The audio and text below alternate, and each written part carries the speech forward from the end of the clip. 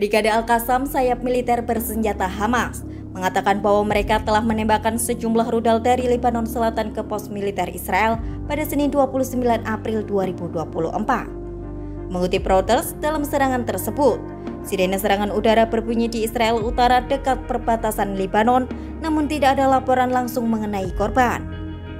Di tengah konflik sengit dengan Hamas, Israel juga menghadapi serangan dari Hizbullah. Rentetan serangan roket yang diluncurkan sayap militer Hamas ini ditembakkan ke Israel dari Lebanon Selatan kian memperpanas konflik tersebut. Melansir Al Jazeera, Hizbullah sekutu Hamas telah berulang kali mengatakan bahwa mereka akan menghentikan pertempuran setelah kencatan senjata permanen di Gaza. Di pihak lain Israel mengatakan bahwa mereka tidak akan menghentikan pertempuran sampai Hizbullah menarik diri dari perbatasannya dengan Lebanon. Oleh karena itu, Amerika Serikat secara khusus mengutus Amos Hochstein menjadi penengah dalam konflik ini.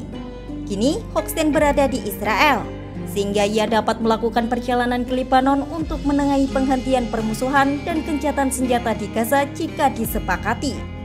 Pada Senin dini hari, pejabat kesehatan Palestina melaporkan serangan udara Israel di Rafah telah menewaskan sedikitnya 22 orang, termasuk di antaranya enam wanita dan lima anak-anak.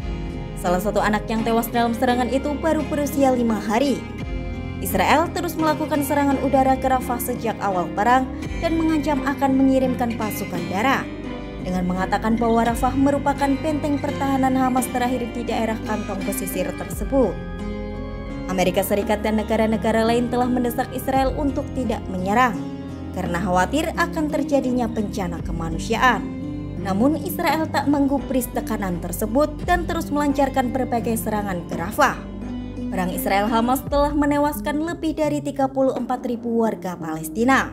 Sekitar dua per dari mereka adalah anak-anak dan perempuan.